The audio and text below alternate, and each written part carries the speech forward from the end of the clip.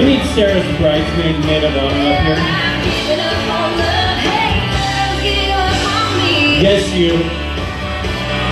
All right, up next, Timber.